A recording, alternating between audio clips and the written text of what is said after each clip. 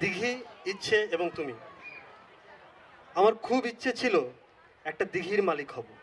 সেখানে জলের রং হবে কিশোরীর চোখের মতোই টলমলে, বিসমিল্লা খার সানাইয়ের মতো বিষাদ। আমি ছয় প্রস্থের ঘাট পেরিয়ে হাঁটু জলে বসে জুড়াবো দুঃখ আর সুখের ডালপালা। সেখানে বাঁশ পাতা, তন্নির কমর ছুঁয়ে নেমে আসবে দিঘির কোমল জলে। সেখানে মাথার উপর আম আর জারুল গাছেরা কি সোহাগে আলতো করে নেমে এসে গা ভেজাবে লাজুক বর্ষায়। সেখানে ডাহুক আর বুনো চড়াইয়ের সাথে খেলা করবে চটপটে মাছের পোনারা। আমি শেষ বিকেলে গাছের ছায়ায় ফালি ফালি করে কাটা জ্যোৎস্না রৌদ্রে বসে সাজাবো তোমার পুজোর ডালি। আমার খুব ইচ্ছে ছিল একটা দিঘির মালিক হব। ধন্যবাদ।